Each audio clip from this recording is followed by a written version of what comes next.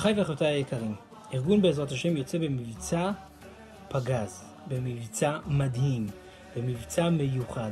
המבצע הוא בעצם כל מי שיקבל על עצמו שמירת שבת, לשמור את השבת, יבוא ויקבל את השבת בשמחה, שמו יוזכר לברכה בכותל המערבי על ידי תלמיד חכם, שליח שלנו, בחינם, ויראה ישועות גדולות בכל מעשה ידיו או ידיה.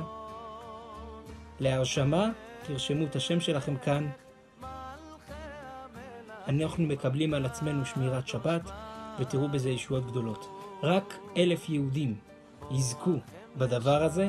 אנחנו עושים עכשיו, תוך חודש, אלף יהודים שיזכו בדבר הנפלא הזה.